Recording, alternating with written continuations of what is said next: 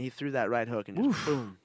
That was Rampage had that ridiculous one punch power. That Vanderlei fight's another example. Yeah. God damn, he uncorked that left hook on the button. You're going nine nine. You know, nobody had ever done. I mean, Cro Cop, t- he hit him a gang of times before Yeah. he flatlined him. He he was lighting Vanderlei up in that fight because the first time they fought, it was an incredible fight. But Cro Cop just really wasn't uh, good on the ground yet. No, no, his takedown defense very, wasn't there. Very little. Very little, and they had a strange rules fight where it was like you could only stay on the ground for a little bit of time.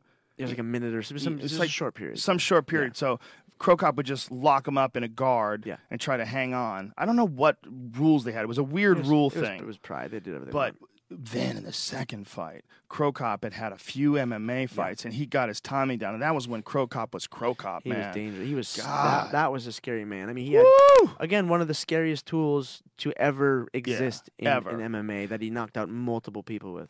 And the thing about Cro Cop is, I feel like UFC fans, again, don't appreciate the majesty that was Cro Cop in his prime. We got him after a long Yeah. career, a hard career against Fedor and against Josh Barnett. I mean, he, he fought some fucking battles. battles. So when by the time we got him in the UFC, he had been in quite a few like real, real wars. Well, and think of all of the heavyweight kickboxing fights he had. Yeah, exactly. Yeah, he fought a lot of K1 fights against the top guys. yeah. High level, high level Yeah. guys. That Mark Hunt fight. It's a classic Yes. one, man. Classic. They had some wars in, in, in K1, man. People had, I mean, he was uh, in the mix with some of the best fighters in the world over there. Yeah, you got you know you got the Bonjasky and Mhm. the, a small small Alistair, um, Peter Aerts, you know the the Tyrone Spongs, like the, the the Dutch group of kickboxers, the the heavyweights are. I mean, and these guys have like hundred heavyweight fights, two hundred heavyweight fights. I mean, this is insane. I mean, you, someone my size, okay, you have 200 Thai fights in Thailand.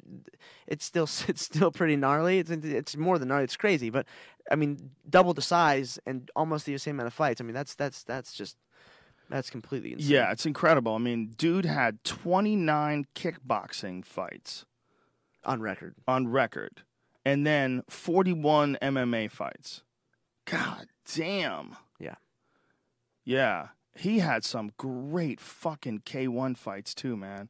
Really fun. K- See, he was one of the best guys to come over, even though he wasn't one of the best K1 guys. He was Yeah. like just below the the elite of the elite. Like it wasn't just below like the Grand Prix winners. Yeah, exactly. Before he, he did win a Grand Prix recently. Yeah. Right. It was in uh, it was the European one or something. Yeah, something like that. I'll I'll I'll find out and give him the credit he deserves. But um, when he uh, when he came over, he was he had the one thing that a lot of people didn't have: ridiculous speed and explosion. And he had like I think he had a karate background, right?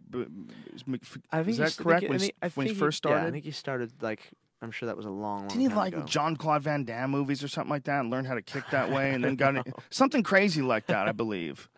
I believe that that's like how it got started. I think he like was a Jean Claude Van Damme fan and I then hope- got I into hope so. karate from that.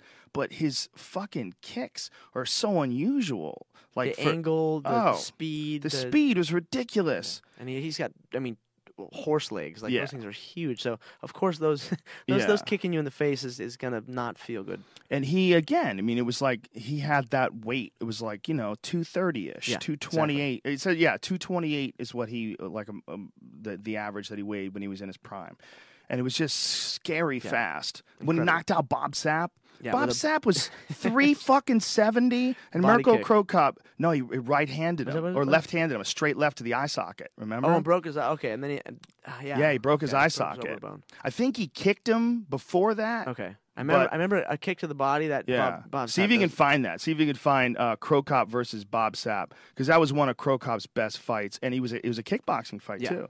You know, that was back when this was a, a guy, Bob Sapp, who had beaten Ernesto Hoost, who most people think was the greatest ever, or one of the top Yeah. 10 guys ever for sure. Yeah. I shouldn't say the greatest ever.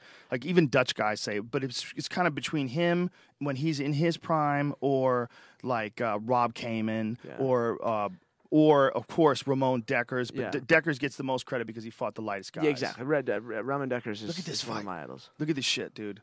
This is Bob Sapp versus Mirko Cro Cop. Mirko is literally almost 200 pounds lighter than him. He's actually a hundred. He's a probably no bullshit, hundred and fifty pounds lighter than him, easily. which is incredible. and I mean, he's he just sucks, man. And he's chasing Cro Cop around, and he gets a hold of him, and he like trying to rabbit punch him, Yeah. like he's trying to dirty box him. he just wants to club you to death. He's he's Yeah. that big. He just has to to lay one on you, and you're and you're done. But. Mirko was strong enough and fast enough to keep him off, Yeah. which is the difference between his style and Ernesto Hoost. Though Ernesto Hoost is the better kickboxer, like technically than Mirko. Oh, yeah. What makes Mirko so dangerous in MMA is that he's explosive and it'll dart in and blast you. He'll take a chance and do something wild where a guy like you with something hard. yeah, It's some not just a- ridiculous shit. not just a feeler. I mean, that, that's he wants to. Oh. Yeah, he will go after you. Oh, I forgot, I forgot he got ball clipped. He got ball clipped. It looks like, or something happened there. Very rarely do you get pokes in Pride too. That's another true. interesting thing. Was this it- is actually the kickboxing The gloves bout, had those fat fingers on. yeah, fat fingers and it, apparently the the way it's designed, it makes you uh, curl your hand more, uh, keep it curled. Whereas Oh, the. UFC ones, do you feel that the UFC ones make your hands straighten out? I never thought about it. I'll have to check that out next time. Well, they say that the Pride ones were like curved. They had like yeah, a curve to them. actual. Yeah, they they were actually bent curve where the UFC ones are straight. Yeah, and as, as you, especially as a fight goes on, you relax your hands maybe a little bit. Like that would be a time where the Pride one would be better Yeah. because it would keep them kind of curved. That makes sense. Oh, so did he hit him with a body shot there? Back that up. I'm talking too much. People who are listening to this and watching this are getting two totally different experiences. because uh, I don't even know who has the. Uh, see, there's the body shot. Boom. Oh, yeah, left okay, kick to the body and Yeah. straight left to the face. Marco Cro Cop was a fucking savage back then, man. He was one of the most dangerous guys as far as like sniper strikers. yeah. And then came into MMA and fought in Pride. Holy shit, were those some great fights. His knockouts in Pride are some of the all time greatest highlight reel head kick Yeah. knockouts. it's a the, series it's the of same thing. yeah, Igor Vovchanchyn, boom! Alexander Emelianenko, boom! Just blasting dudes with that head kick. That Russian dude, Dos Caras, with the he Oh, came in with yeah. the Luta Libre mask on, head kick, boom! Yeah, he was trained with Marco Ruas for that fight, and I remember thinking like, dude, this guy's gonna die. Oh, because you know Marco was in our was in was in our area, and I had some friends that trained over there, and uh, I remember just like I would stop in there every once in a while, and I was just like, man, this guy's this guy's this guy might might actually die in this one. yeah, he was amazing, man. Mirko, when he at, at that level, that's like when he was at his very best. It was either before he was challenging Fedor, right right after. Yeah. It was somewhere in that area where it was him chasing after Fedor.